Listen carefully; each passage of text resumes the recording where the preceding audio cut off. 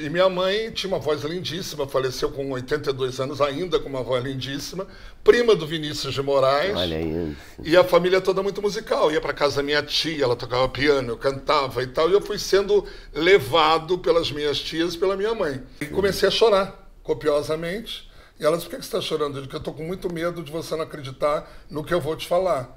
Mas você vai ser mãe dos meus filhos, vai ser minha mulher, e eu te amo muito, eu não posso perder você. Me dá a chance de ter você. Nos vimos três vezes e nos casamos. Eu, eu gosto muito de viver, dou maior valor a tudo que eu consegui, não só na carreira, vida pessoal. Encontrar a mulher da tua vida e aquilo ser verdadeiro, isso é um prêmio que não, não existe, né? Eu sou o que as pessoas esperam de mim, né? E o artista, para mim, é isso. Não dá para virar empresário de você mesmo.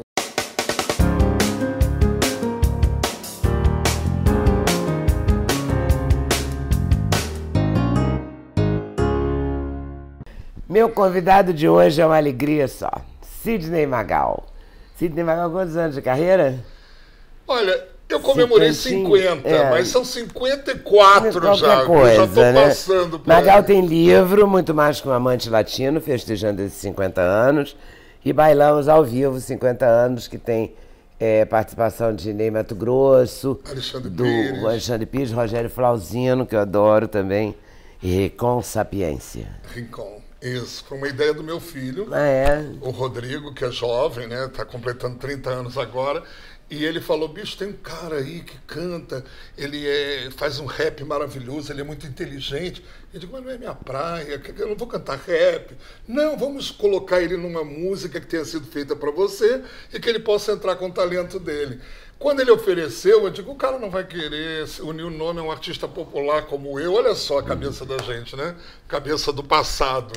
Aí ele foi e falou, ele disse, lógico, com o maior prazer, eu quero, eu vou no show, eu vou gravar um DVD. Gravamos um clipe maravilhoso que foi muito acessado.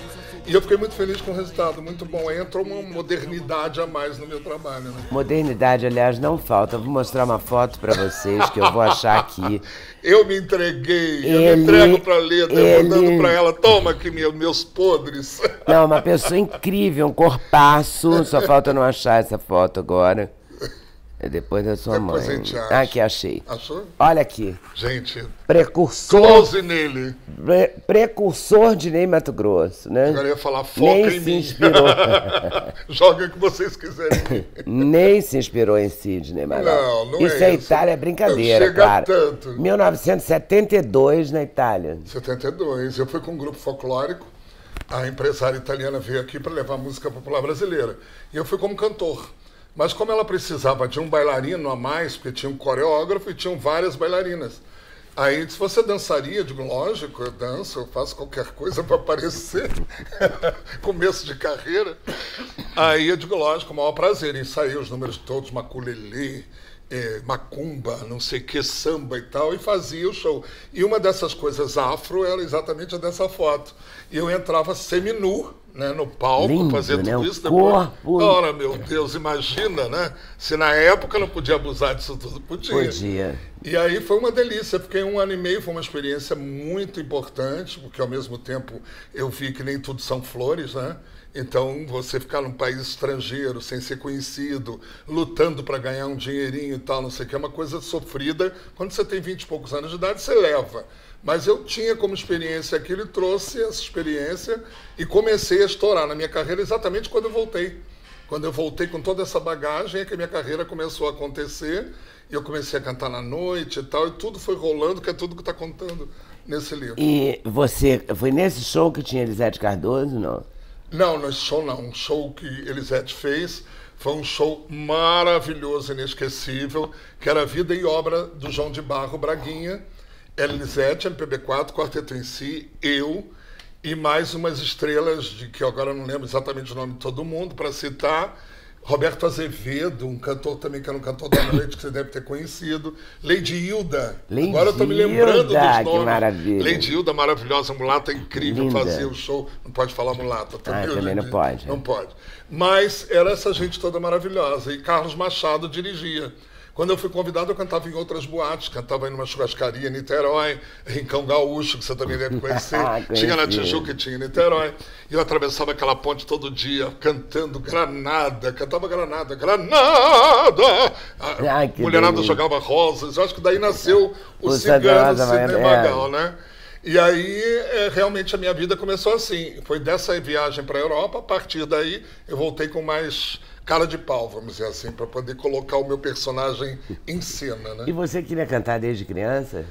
É, um pouco eu e um pouco forçação de barra da minha mãe, que minha mãe foi cantora, quer dizer, ela queria ser cantora, cantou na Rádio Nacional do Rio, programa Renato Mursi, muito conhecido lá nos anos Nossa, 50, era 40, importantíssimo né? o programa do Renato Exatamente. E minha mãe tinha uma voz lindíssima, faleceu com 82 anos ainda com uma voz lindíssima, prima do Vinícius de Moraes. Olha isso. E a família toda muito musical. Ia para casa da minha tia, ela tocava piano, eu cantava e tal. E eu fui sendo levado pelas minhas tias e pela minha mãe.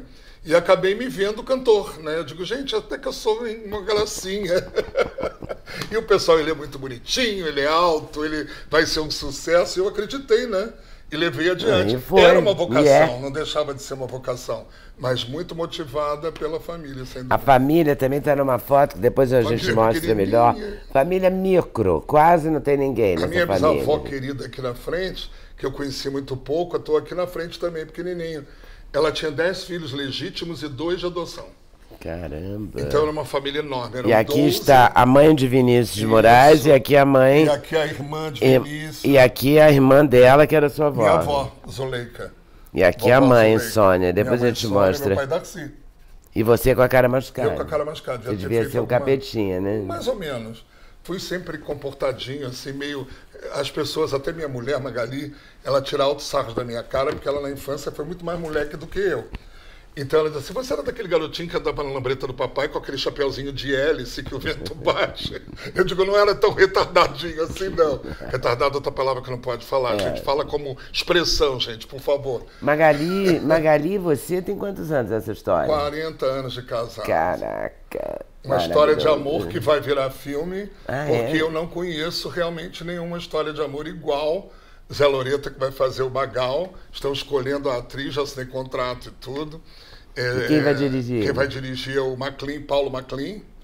E a produção é da, da empresa que eu acabei de esquecer o nome agora, de, de Joana Mariani. Ah, fez, sim. A Joana já fez trabalhos, inclusive Joãozinho 30, o 30 do Joãozinho. Joana Mariani, meu isso. filho está com ela. Exatamente. E agora eu não sei como é que chama. Meu Deus, eu devia saber também. É, da produtora. agência. eu sempre esqueço o nome, perdão, mas Eu esqueço também de já ouvi não sei da quantas produtora. vezes. E aí ela já me fez essa proposta há algum tempo, começou a escrever o roteiro, quer fazer um musical. Ela disse que quer fazer um musical, ela disse, tem que se chamar Meu Sangue Ferve por Você. Eu digo, pô, mas eu não tenho outro nome, mas não, tem que ser Meu Sangue Ferve, porque a história é muito bonita. né? É uma história que me faz até me emocionar sempre, porque eu conheci Magali, não vou contar a história toda, que você precisava de uns 10 programas. Ah, mas eu um conheci. Magali e num programa de televisão em Salvador, e ela estava no meio de 45 meninas, cada uma representando a sua escola, para a mais bela estudante de Salvador. E eu olhei para ela e minha vida começou ali, não acabou ali, começou ali. Eu olhei disse pro menino da gravadora, chama aquela menina para conversar comigo, porque aquela vai ser minha mulher e mãe dos meus filhos, e a pessoa que eu amo desesperadamente. Ele disse, bicho, você acabou de ver. Eu digo, mas chama que eu preciso dizer isso pessoalmente. Aí aconteceram algumas coisas, no dia seguinte nos vimos, eu sentei na beira da piscina, olhando para ela, ela com 16 anos, eu com 29, Nossa. Aí comecei a chorar copiosamente. E ela disse: Por que você está chorando? Eu disse: Eu estou com muito medo de você não acreditar no que eu vou te falar. Mas você vai ser mãe dos meus filhos, vai ser minha mulher, e eu te amo muito, eu não posso perder você. Me dá a chance de ter você. Nos vimos três vezes e nos casamos. Caramba. Então eu não chamo nem de amor, eu fico arrepiado. Ela é baiana. Ela é baiana. Eu não Você chamo de é amor baiano? primeira Não, eu sou carioca. Eu não chamo de amor à primeira vista, isso é uma coisa que não tem explicação. Nossa, a né? primeira olhada. né? Primeira olhada, primeira sacada. Assim, aí vai virar filme. Tomara que seja Quem musical. será que vai fazer a Ah, Magali? eu tô louco que seja uma mulher Ela é bonita. Porque Magali sempre foi muito Sempre bonita. foi Na época eu muito conheci, bonita. era a mulher mais bonita da Bahia, pra, pra mim, pelo menos, né? Eu quero que seja uma mulher muito bonita e jovem. Por isso a dificuldade de encontrar a atriz que tem que ter uma certa experiência, mas tem que imprimir 16 anos, 17 Também anos. outra coisa 29. perigosíssima, namorar alguém de 26 anos com 29, Menina, hoje em dia, hein? 16 com 29 Ia já dar problema. um pedófilo Ia dar procurado problema. pela Polícia Federal. Mas ainda bem que o meu amor foi declarado e foi cumprido, né? Ainda bem que você casou com ela Pois também, é. tá até hoje Pois casado. é. Quantos filhos além do Rodrigo? Três filhos, Gabriela, que é a mais velha, 39, né? 39. É, eu sempre faço mistura. Natália, que é, está grávida, e que vai ter a minha netinha, que está com 34, e Rodrigo, que vai fazer 30. Todo mundo já passando, todo mundo trintando já. É, assim. todo mundo animado, nem todo Magali mundo está com trabalha. 56, né? E eu vou fazer 70. E quem vai. Quem tá trabalhando com você? De- O Rodrigo? Ah, o Rodrigo tá e Magali sempre trabalhou. Magali É, sempre a Magali presente. sempre é. teve coordenando todos a parte de, principalmente comerciais, de musicais, de peças de teatro. Tudo que eu fui convidado para fazer passa primeiro pela, pela, não pela aprovação, mas pela sensibilidade de Magali por me conhecer demais. E o Rodrigo agora, que ele é fotógrafo, um grande fotógrafo, ele está começando, foi ele que teve a ideia do show, a partir daí ele se empolgou, disse, meu pai, deixa eu pegar pelo menos esses próximos anos, porque eu falei para ele que eu queria me aposentar no ano que vem já. Aí ele disse: Meu pai, não é possível, vou ter muito pouca coisa para fazer. Eu digo: Ah, meu filho, eu não sei até que ponto eu vou continuar rebolando. Se eu fosse um cantor romântico, eu até entendo, mas aos 90 anos, me chama que eu vou, eu precisava de duas enfermeiras do lado e dizer: Papai do céu, não me chama agora que eu não vou. Mas pelo menos. Eu estava me preparando. Mas eu vou ver até onde aguento, né? Porque é- são shows movimentados, shows com balé, e a minha energia precisa estar presente, porque a coisa que as pessoas mais curtem em mim é a minha energia, É. né? Você está vendo porque eu estou falando mais do que a Leda, né, gente? Desculpa. Claro, mas você está Um aqui para falar mais que eu mesmo. Isso é o barato da entrevista. Pois é. o entrevistado falar mais que o entrevistador. Sempre esse é o barato. E aí você continua fazendo show com a mesma garra, com a mesma Graças dinâmica. a Deus, graças a Deus. Isso é uma deixa também, muito, né? Me deixa muito feliz, porque nesses anos todos, Leda, o que aconteceu de mais sensacional foi o fato de eu nunca ter ficado rouco a ponto de cancelar um show. Nunca. Eu devo ter feito não sei quantos mil shows até hoje, mil shows até hoje, e nunca faltei por rouquidão, é, por uma doença, por não poder viajar, por algum motivo. Então isso me deixa muito feliz, porque tudo que me requisitaram, que me convidaram, eu estive presente fazendo o melhor de mim. E isso acho que me deu uma vitalidade que nem eu sabia que tinha, né? De ter saúde sempre para fazer tudo. Eu acho que a emoção de trabalhar e interagir com o público com emoção, isso te dá muita vida, muito tempo de vida artística, né? Quando o artista se distancia do público, eu acho que ele morre mais cedo. É, você não é do tipo que se isola, não. Você Não, se não. joga mesmo. Não, eu gosto, eu gosto de ser, como diziam, gosto, o Bosco lhe disse isso num- numa revista Manchete daquela época, fez uma matéria vocês sabem a diferença entre Roberto Carlos e Sidney Magal? É que um as pessoas trazem para o colo, o outro se atira no colo dos outros. Que era eu, lógico, né? Eu Claro, atiro no colo dos outros. atira. E o Roberto, todo mundo queria no colo delas. E você sempre se atirou assim, desde muito Sempre, jovem? sempre. Sempre porque eu gosto exatamente disso, de conquistar as pessoas, né? Fazer alguma coisa que as pessoas digam, poxa, você me deixou bem, você me deixou feliz. E para isso você precisa se dar. Você não pode ser uma pessoa fechada em você mesma, né? Mas você sempre foi assim, pra fora, rindo. Sempre. Você me entrevistou algumas vezes nos programas. Algumas E vezes. eu sempre contava uma piada, brincava. Agora eu estou curtia. numa dúvida aqui, porque eu tenho a impressão que um dia eu encontrei você e você falou, agora eu estou morando na Bahia. Isso é verdade? Ou é da minha memória já ou não? estou, É, já estou há 20 Não, sim, anos mas há morando 20 lá. anos atrás você se Com mudou para lá. mudei para lá. Ah, tá. Então aí, a minha memória tá é, certa. tá Porque eu me lembro que eu encontrei com você na Bahia você falou isso. Tá certo. Eu agora moro na Bahia. É, talvez você tenha ido a algum evento da Dadá. Foi, da Dadá. claro, feijoada Dadá da agora tá Dadá. quase minha vizinha, menina, porque eu Mentira. tô morando num condomínio já há alguns anos, que é um condomínio à beira-mar, que tem um flat, um hotel, e ela é a cozinheira desse flat. Olha. Inclusive faz os quitutes todos na beira da praia, não sei o quê. Então eu ligo pra Dadá quando eu quero os bolinhos de estudante, que tem aquele Nossa, nome que você conhece de lá na. Bahia, que a gente não pode falar aqui. É, não pode. Pois é. Aqui Ah, pode. Pode? No YouTube pode tudo. Ah, pois é, punheta, viu, gente? Lá na Bahia, punheta é o nome do bolinho estudante, que é aquela coisa deliciosa. Então eu ligo pra Dadá e digo assim, Dadá, hoje eu quero. Ela disse, meu filho, para você quantas punhetas você quiser. e aí ela faz aquele jogo. Então logo mandar um beijo pra Dadá. Dadá, querida. querida Dadá fazia um pudim, ela deve fazer até hoje. Lógico. Um pudim de chocolate maravilhoso. E ela chamava Negão da Dadá. Outra coisa que não poderia hoje. Aí eu chegava na Bahia, Duda, meu filho, era pequeno. Ela falava, vou fazer aqui um negão da Dadá pra tu levar pro Duda. Eu trazia no avião, sabe, no tempo era assim, sentado é, no é meu colo, o tal do pudim, o negão da Dadá. Maravilhoso. Maravilhoso. Era tão diferente, né? A gente falava tanta loucura era também, né? né? É. Mas a gente viveu uma grande época, né? É. Não de praia, de, minuto, de loucura, de... de tudo. Lembro da minha infância, lembro das praias que frequentei, da, das coisas que eu passei, que eu convivi, pessoas que eu convivi. Sempre me pareceu tudo muito leve. Aí dizendo, sempre que você era jovem. Não, não é por isso. Não. É que por ser jovem, eu também observei muito e posso comparar. Então, naquela época, eu observava muito que as coisas fluíam mais. Hoje em dia, muitos interesses sempre por trás. Às vezes, um artista chega no local, tem imprensa, o artista já se comporta diferente. Olha, a imprensa está ali, eu vou ali, eu faço isso. Antes, a imprensa corria para cima do artista e ele se deslumbrava com a imprensa, né? Umas coisas que dão muito mais prazer. Você, esse show com Elisete deve ter sido massa, porque ela era fantástica também, né? Não me, não me convenceu a comer cebola crua. Ah. que Elisete tinha mania de comer cebola crua antes do show. E Como você não come cebola? Detesto cebola. Detesto cebola. Aí eu dizia, Elisete, não adianta, minha filha. Tomara que Deus preserve a minha voz, que nem Calbi, né? Calbi, Calbi chegava para mim e dizia assim, Magal, você fala muito alto. Por que, que você está falando, gritando desse jeito? Você vai destruir suas cordas vocais. Dizendo, vou não, Calbi. e ele acabou não me convencendo a falar baixo também. E você continuou falando alto e a voz continuou impecável. Graças a Deus. Quando que você estourou mesmo? Foi Sandra Rosa Madalena? Não, foi um pouquinho antes com Se Te Agarro com Outro Te Mato. Ah, meu Deus, essa história é ótima. É, a tal música polêmica, porque não era polêmica na época, ela inclusive foi cantada em carnaval, como ritmo de carnaval, virou uma coqueluche.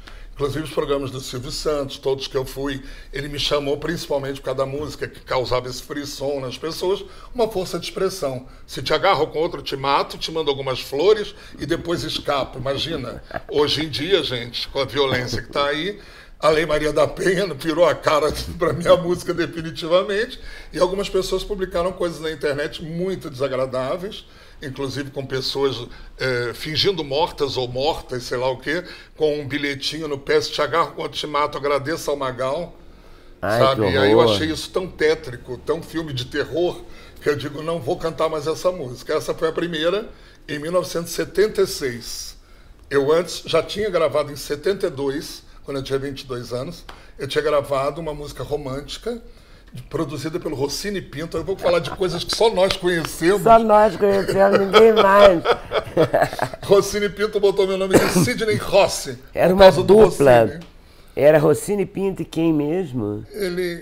Era é uma dupla. Ele, ele, produzia e compunha mais. É, com, com quem ele compunha. Agora ah, não sei Deus, exatamente porque essa versão que eu gravei de Love Story, História de Amor, era do Rossini. Era do Rossini né? Pinto. E ele aí, era um sucesso, né? É, mas aí eu não consegui. Foi, na minha opinião, eu gravei mal, tudo não estava na época, estava muito verde. E aí realmente eu fugi, gravei o disco, fui para a Europa. Então, quando eu fui para a Europa, comecei a fazer as coisas todas lá e foi uma experiência que me deu realmente bagagem para voltar. Mas eu cheguei a gravar antes, né? não como Sidney Magal, mas como Sidney Ross. Sidney Rossi produto era um laboratório. Era um laboratório, é um claro. Laboratório que só a gente conhece. É, também só a gente conhece. Mas é bom que vocês vão ficar sabendo. É um monte coisas. de coisa. E aí ele botou o nome de Sidney Ross, mas não aconteceu nada, graças a Deus. E o Magal surgiu na Itália. E Magal vem do seu sobrenome mesmo, que é Magalhães. Né? Que a língua italiana não pronuncia o LH. Então eles falavam Magalhães. Magalhães, aí o empresário italiano disse, ah, gente, isso é um horror, ninguém vai pronunciar isso. Corta no meio, que até na Índia, na Rússia, vão falar Magal. E aí ficou Magal, nasceu Magal. Maravilha. Até o Roberto Live, que você também conheceu, até encontrar o Live, se transformar no meu empresário, meu produtor e grande responsável pela minha carreira mesmo. E aí você grava o Sandra Rosa já depois. Depois gravei Meu Sangue Ferve. Meu Sangue oh, Ferve. eu te amo. Faz um pedacinho, pelo amor de teu, Deus. todo teu, minha, toda minha, juntos essa noite. Quero te dar todo o meu amor. Até o Ney Mato Grosso já gravou essa música, menina, no teatro. Que maravilha. Ele fez no teatro e pediu, Magal, vou gravar a tua música, de com certeza. E aí acabei convidando ele pro meu DVD de 50 anos. Então aí eu livre, gravei meu Sangue Ferve. E no ano seguinte, 78, aí Sandra Rosa Madalena veio para botar para quebrar coroar mesmo, todo, né? coroar mesmo a minha carreira. Que arrebentou mesmo. Não, Sandra Rosa é uma coisa impressionante. Eu digo, gente, não estou acreditando nisso. Acabei de receber um convite, não vou matar a surpresa para uma escola de samba de São Paulo, que vai homenagear os ciganos. E aí estão me convidando para sair num carro maravilhoso. Claro. O carro da Sandra Rosa Madalena. Carro da Sandra é, Rosa Madalena. É uma música que realmente eu devo 80% da minha carreira a essa música. Que era do Live, ele foi compositor da música também. Ah, é? É. Ele foi compositor de muito sucesso. Muito, ele estourou Peninha com Sonhos, Lilian com Sou Rebelde, ele lançou Alcione, ele lançou uma série Olha, de artistas. Que pessoa. Faleceu ano passado, Live. Que barato. Tem gente que tem um talento extraordinário. Muito. E ele Até para enxergar o talento muito, do outro. Muito, né? hollywoodiano, muito cabeça incrível, pensava em tudo. Magal, ele argentino, né? Então ele falava com sotaque. Ele dizia, Magal, eu te vi no programa do Chacrinha, o cenário é vermelho. Você não pode ir com roupa vermelha, você some no cenário, ninguém te vê. Que isso? Você tem que colocar uma roupa negra para entrar no cenário vermelho. Começa a pensar nessas coisas. Ele era uma pessoa que tinha essa cabeça e me ajudou muito a entender o que era a minha carreira. Né? E você sempre teve um figurino bem ousado, é, bem, extravagante, bem, sempre. Que também foi uma coisa da minha cabeça, começou lá na Europa.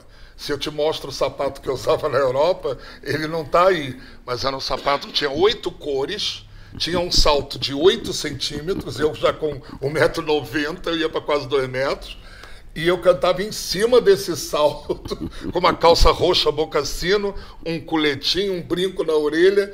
Eu já era mais roqueiro, até na verdade, do que um cantor romântico de música latina. Né? Não, você era muito especial, eu me lembro disso. Aqui, ó, qualquer foto que a Zorro, gente abre, olha ele de Zorro. Zorro na novela da Zorro. Globo. Novelas, também as novelas. É, fiz. Comecei fazendo na Raiz é Trovão com Tamara Taxman Olha e Angela só, Leal. É... E Jaime Monjardim dirigindo lá na Manchete. É, na Manchete, na, na Rádio Trovão na Manchete. Estava na Manchete nessa é, época. É, e aí depois, é, depois fiz o, o, Campeão na Band, que foi uma novela que, meu Deus do céu, que elenco. Contracenei com Natália Timber, é, Mamberti, Marília Pera, Paulo Goulart. Esse era o elenco todo da novela, que era uma novela produção independente que a Bandeirantes exibia, chamado Campeão. E eu trabalhei na novela inteira. E depois as duas da Globo, que foi A Cor do Pecado, onde eu fazia o parceiro da Mamusca, uh. né? e depois o Zorro, que era uma maluquice o Zorro. Era um cara que era cabeleireiro, era, era gay e ao mesmo tempo era o Zorro, né? Então, uma coisa de louco. Mas foi a que eu gostei mais de fazer, porque eu me diverti muito com essa novela. Muito. Mas você se diverte com a sua carreira com também. Tudo. Né? com tudo. Com a sua vida. Tem uma tudo. história muito incrível, Bibi Ferreira. Bibi eu fiz quatro Ferreira, musicais, querida. né? Quatro musicais na minha vida também. Então a primeira vez que eu fui convidado foi para fazer o Sweet Charity, que eu fiz com a Márcia Albuquerque no Rio, no Teatro Ginástico. Nossa. Uma produção maravilhosa e eu fazia dois personagens, o Oscar e o Vitório Vidal. Dois personagens mais importantes da, do musical. E aí a, a direção foi de Marília Pera e André Vale. Quando eu fui convidado para o segundo musical, a direção foi de Bibi Ferreira fazendo rock santeiro, Olha. ao lado de Nissete Bruno, Milton Gonçalves, Bem-vindo Siqueira, Agildo Ribeiro. Imagina, eu me sentindo o poderoso. E tudo que eu entrei para fazer, eu entrei nessa. A Bibi me ligou e disse, Magal, eu quero que você faça o rock. Eu digo, sim, eu não canto rock. não, o rock, o rock do rock santeiro. Você vai, vai ser o meu rock. Aí eu peguei e disse, não, mas eu não sou ator, né, Bibi? É uma responsabilidade muito grande. Quem disse que você não é ator? Você é ator, sim, a gente transforma você num ator. Vamos lá. E aí fizemos o Rock Santeiro, que foi também uma experiência maravilhosa. Mas eu digo, aí acabei pegando, em seguida, Wolf Maia, que ele foi fazer um musical onde ele trabalhava, ele teve que sair para fazer novela, me botou no lugar dele. E para coroar, simplesmente, eu fiz Xanadu, com a direção de Miguel Falabella. Aí eu digo, gente, eu não preciso mais fazer nada em teatro, eu sou muito abusado. Você é abusado ah, mesmo. Mas, mas é você é talentoso, que você por isso. De me né? jogar. De se jogar, você jogar. se joga mesmo. Isso é muito bom. Eu acho que o astral também faz a diferença. Muito. Você tem um astral incrível, sempre teve. Muito. Eu não me lembro de ter encontrado o Magal alguma vez na vida que ele não tivesse. Nunca. Pronto para ela, nunca, né? Pra, nunca, pra vida. Nunca. Isso é muito legal nele. Nunca, nunca. Eu, eu gosto muito de viver dou maior valor a tudo que eu consegui, não só na carreira, vida pessoal. Encontrar a mulher da tua vida e aquilo ser verdadeiro, isso é um prêmio que não, não existe, né? Depois ter três filhos querendo que todos fossem bom caráter, tivessem saúde, bonitos, tudo que eu sonhava. Foi tudo realizado também. Então você só tem que estar sorrindo, agradecer a Deus e transmitir isso e mostrar para as pessoas que elas podem encarar a vida dessa maneira, né? Por isso que eu acho que eu sou muito, eu agora tenho pensado muito nisso, né? Chegando aos 70 anos, eu digo, ai, meu pai, quanto tempo ainda falta para a gente curtir tudo isso? Mas você 20, tem... 30, por favor. Você está em todos os programas de televisão, em todos os acontecimentos, graças Deus, né? Graças a Deus, sou muito convidado e fico muito feliz, porque eu acho que o artista, isso é uma outra coisa que eu aprendi com o Live. O artista não deve sair procurando oportunidades ele para testar a sua popularidade, ele tem que aguardar os convites. Enquanto você é convidado, é como se você fosse uma pessoa da, amiga, né? Ah, o Magal me convidou para a festa dele, eu não devo ter muita importância para ele. Então era assim que o livro me passava isso. Então, enquanto estão te chamando, olha, vem aqui, faz isso, isso é legal, eu conto com você, parece você, isso é legal, a escola de samba, isso, aquilo. É sinal de que eu estou bem para as pessoas, eu sou o que as pessoas esperam de mim, né? Uhum. E o artista, para mim, é isso. Não dá para virar empresário de você mesmo. Vou catar uma oportunidade. E agora você vai, você está pensando em gravar de novo? Como é que você está é, levando sabe que isso? o mercado mudou muito. Muito, completamente. A gente lança um DVD como esse, não bota nem nas lojas, né? Faz uma vendagem independente via internet ou nos shows e tal, porque as gravadoras também já nem existem mais direito. Tanto é que nós gravamos independente mesmo, com o apoio do Canal Brasil. Canal Brasil também ajudou a patrocinar, fazendo a gravação em si. E aí eu, eu penso como todos os artistas, não vale mais a pena fazer novas gravações de DVD, que é um gasto muito alto, né, e que você não atinge as pessoas como atinge numa internet. Então você fazer um clipe, dois clipes, três clipes bem feitos, surte um efeito muito maior do que, na verdade, um DVD. Você acha que fazer um clipe, dois, três, é melhor? Eu acho, eu acho. Quando você tem uma boa ideia, tem uma música boa, você consegue fazer uma coisa legal, você atinge, com certeza, um número muito maior. E você não tem vontade de, de fazer alguma coisa na internet? Todo mundo fala muito isso comigo. Rola uma preguiçinha, tipo assim, ao mesmo tempo que eu sou de falar, rir, brincar, eu tenho medo de, nesse momento, eu, eu ser demais. Porque eu vou falar muito a verdade de tudo. Eu não vou conseguir ser só o Sidney Magal, aquele que é educado sempre, que fala tudo. Eu sou o Sidney de Magalhães também, gente. Não é que vocês não devam conhecer, devem. Mas esse Sidney de Magalhães é cidadão, é pai, é brasileiro. E a gente não anda nada satisfeito com o que tem acontecido no planeta. Então eu tenho muito medo de usar a internet, ao invés de passar toda a alegria que eu passo, passar para as pessoas uma preocupação, uma tristeza ou uma realidade que elas já estão acostumadas. Então eu fico relutando. Porque às vezes elas não querem ver nem saber. É.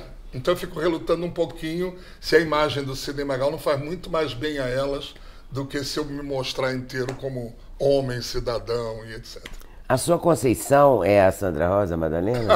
é. E sempre nomes femininos, né? Sempre, é. Ivan Madalena, Calbi Conceição, Sandra Rosa Madalena. As mulheres sempre arrebentam nos Lígia. E aí vai, é verdade, né, gente? Tom. Uma coleção de, de obras maravilhosas. E você, não é a sua Conceição? Com é? certeza, com Você certeza. não pode deixar de cantar de jeito nenhum, né? Não. Aí você falou, por que essa cara que você fez? Porque às vezes você vai no programa de televisão cantar, e você diz assim, preciso mostrar uma novidade. Eu gravei com o Rincon Sapiência, por exemplo. A música é linda. Quando eu vou para a televisão, eu digo, posso cantar? Não, não, não Canta Sandra Rosa, Meu Sangue Ferve, Tenho, lembra? Tenho, tenho um mundo tenho. de sensações, ah, um mundo de vibrações. Ah, fantástico clipe e tal.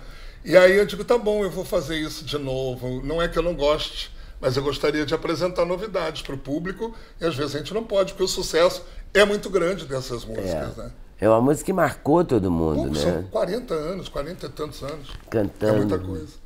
E você com aquelas roupas e aquela, aquele jeito. Aquele clipe fantástico. É uma maravilha. Encontrei aquilo. o Newton Travenso, que você Olha, também ama. Eu também conheço, e claro, e gosto. encontrei outro dia e disse, Newton, por favor, muito obrigado por, por aquele clipe no acampamento cigano, eu pulando a fogueira em slow motion, aquele ciganão e tal. Gente, aquilo ali marcou, até hoje as televisões, a internet vivem reproduzindo esse clipe da Sandra Rosa com acessos de milhões de pessoas. Eu digo, gente como a gente não sabia, pessoas entraram na tua vida para né? te explodir, né? Muito bom. Você é muito feliz com essa escolha de carreira, né? Muito, Também. muito, muito. E olha que eu comecei, você viu, né? Elisete Cardoso, MPB4, Quarteto em si, primo do Vinícius. Então, no fundo, você, rolava uma você vontade... Você primo do Vinícius ajudou? Não.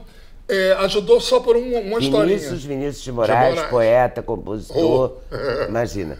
O embaixador, né, porque ele era um diplomata, uhum. e foi, na verdade, um, um, acho que uma das primeiras pessoas é, assim, com uma cultura sólida a se engraçar com a música brasileira. Exatamente, né, com a música popularizar, é. inclusive, é. a música. E, e Vinícius tem uma, um momento importante, eu encontrei com ele várias vezes, e ele morou, chegou a morar no mesmo prédio que minhas tias, as tais, que tocavam piano, que eram tias da minha mãe. Oh, e, e, eram tias da minha mãe, eram minhas tias avós as irmãs da mãe de Vinícius, né? Então a gente ficava lá cantando e tal, e às vezes falava com ele. Me lembro de, numa época, ter dito a ele: Vinícius, preciso de duas coisas. Preciso de um empresário bom e preciso de uma música sua. Me dá uma música sua que eu preciso me lançar cantando Vinícius, né? E eu, foi na época de Natonga da Mironga do Cabulete. Olha logo a música que eu fui escolher. Aí ele pegou e disse: Magal, se eu tivesse. E nisso é que ele me ajudou. Se eu tivesse a sua estampa, a tua figura, esse garanhão que você mostra ser, eu cantaria música popular para o público te rasgar, te arranhar, te consumir. Eu nem ia cantar bossa nova sentado num banquinho. Então desiste disso. Eu daria uma música com o maior prazer, mas acho que não é a tua. E aí eu peguei aquilo ali e fui para casa achando que Vinícius não queria me dar música nenhuma. É, meio né? chateado deve ter é. ido, né? Eu falei, não, não, ele não quer me dar música, ele não quer relação que eu diga que sou primo. Aí depois eu comecei a entender, absorver aquilo. Eu digo, ele tinha razão. Ele, ele me jogou para uma praia que era a minha praia. Era né? a sua praia mesmo. E eu acabei entrando para tudo isso assim, vou cantar música popular e vou assumir. Porque chega uma hora uma música, primeira música que te apresenta, se te agarro com outro te mato. Eu tinha acabado de cantar com Elisete Cardoso a obra de Braguinha.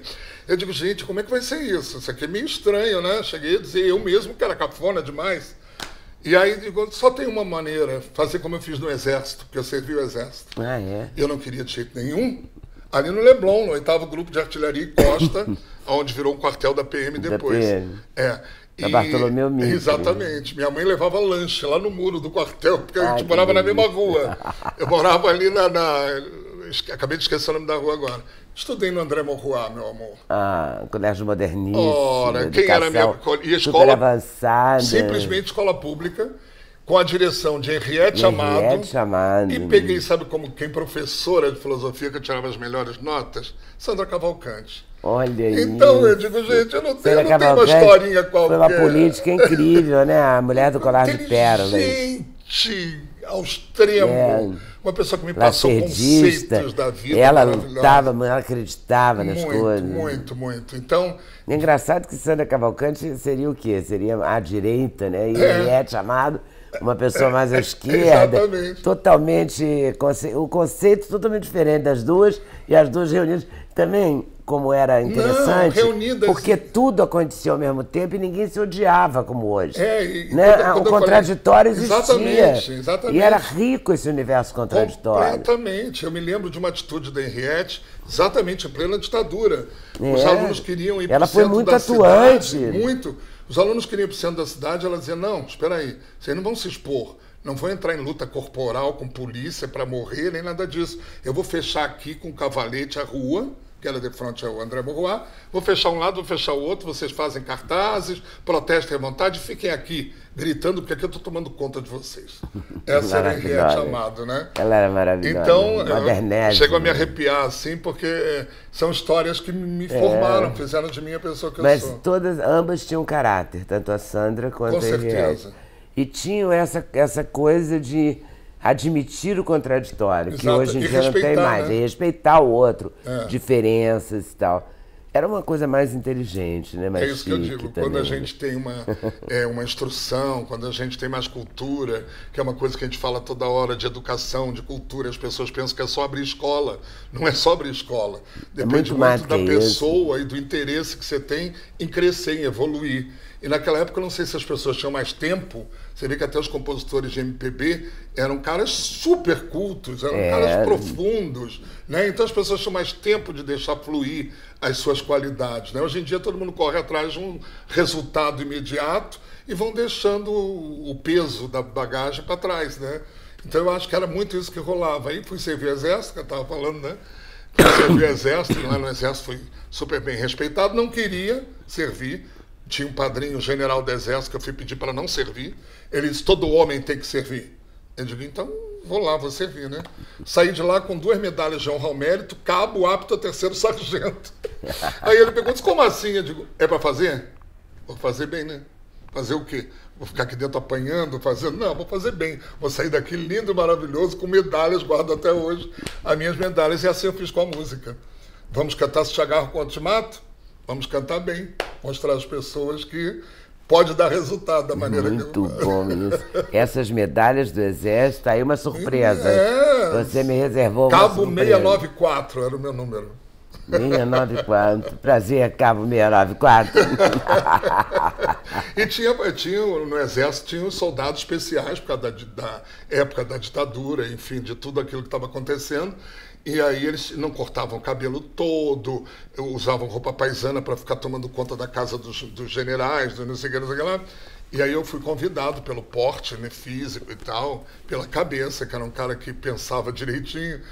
E eu não quis, porque tinha que fazer aulas de karatê, judô, e todo mundo dava tanta porrada uns nos outros que eu via nego saindo quebrado daqui, quebrado dali.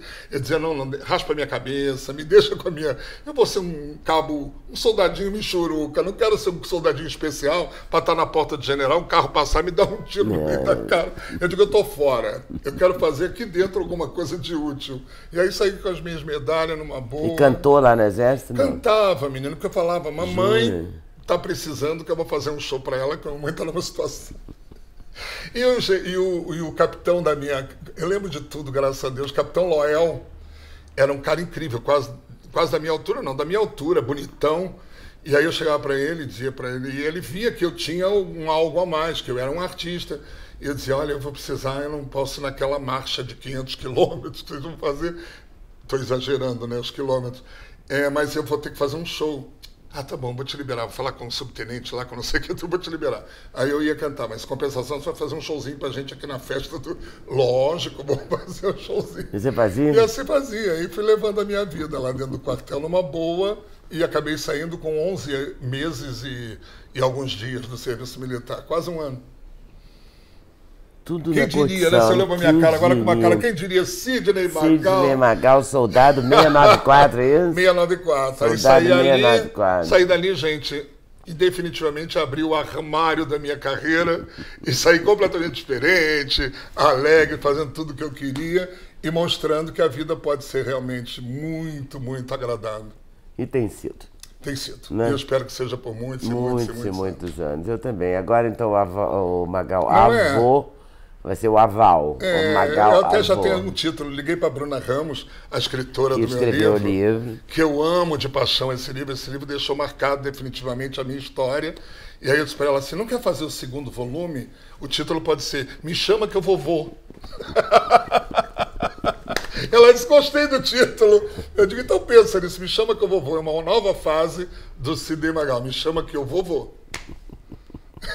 Será que você vai cantar no, no show alguma coisa diferente? Você vai cantar o seu repertório todo?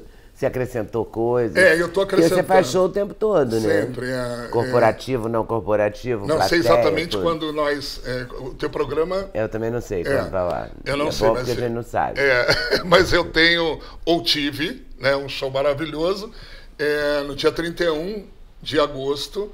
E exatamente eu procuro sempre, quando volto no local, apresentar alguma coisa nova para que as pessoas se sintam realmente prestigiadas e acarinhadas. Então, de repente, eu botei um pupurri de Tim Maia, que eu nunca tinha feito. Olha. Botei um pupurri de Beto Barbosa, em homenagem à época do- do- da lambada e ao próprio Beto, né? E Peguei até uma música que eu não sei ainda se eu vou continuar fazendo os meus shows, que é daquele grupo Melim, aquela menina com os dois irmãos, uma música que é um grande sucesso, eu adoro a música de paixão. O título da música é Eu Ouvi Dizer. Ah, viu? Cabeça boa. É. E é uma música que eu quero botar, mas eu quero botar depois que eu tiver ensaiado bastante para ficar bem, bem legalzinha, porque aí o público jovem vai cantar comigo, vai adorar e tal. Então eu tenho sempre essas ideias. Tem sempre o balé, tem sempre, é, né? tem sempre uma. Mas uma vez eu fui a um show dos Novos Baianos e a moçada estava toda na, na, na beira do palco cantando e eu não entendi nada, porque era da minha geração. Eu sabia todas aquelas letras de cor. Eu, descobri, eu perguntei para umas meninas muito jovens, como é que você conhece esse repertório? Falei, pela internet. Pois é. Me olhou assim, sabe, como assim? Pela internet. E é verdade, a internet Não, faz é essa verdade. democratização. É, né? é uma pena que, infelizmente, né, no mundo inteiro, não é só aqui, às vezes por motivos hum, financeiros, geralmente sempre, né, as pessoas dão mais força e insistem muito em coisas que não têm tanto valor e nem têm tanto peso. Então, às vezes, a música popular brasileira ela começa a ficar muito deturpada, muito repetitiva, muito. Porque aí vem um, faz um clipe, aí vem mais 20, fazem clipes iguais, com a mesma batida, com a mesma letra, com a mesma intenção, com a mesma. Isso sufoca um pouquinho e deixa o público sem a opção de escolher coisas legais. Mas, se for usado dessa maneira, como você falou, é maravilhoso. A gente tem acesso a tudo e a todos, né? Muito bom. Muito bom ter você aqui, Magal. Ah, Muito bom, foi um prazer. Bom para mim, um pela nossa história Magali, juntos. Tua né? cabeça também maravilhosa. Ah, estamos aí na batalha sempre. Dá um beijão para Magali. Obrigado, linda Magali, bela Magali. Mas então temos aqui Sidney Magal, um avô, quase avô. Hein? A caneca. Ah, Gustavo estava lembrando. Não te dei a caneca do agora.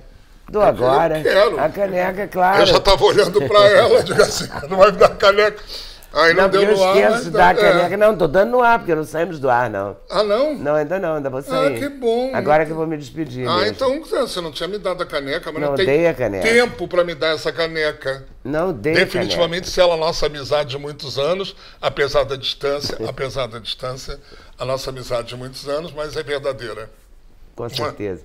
Como também é verdadeiro, meu pedido a você para que você se inscreva no canal, dê like, aperte o sininho e volte para o próximo vídeo. Valeu? Até mais.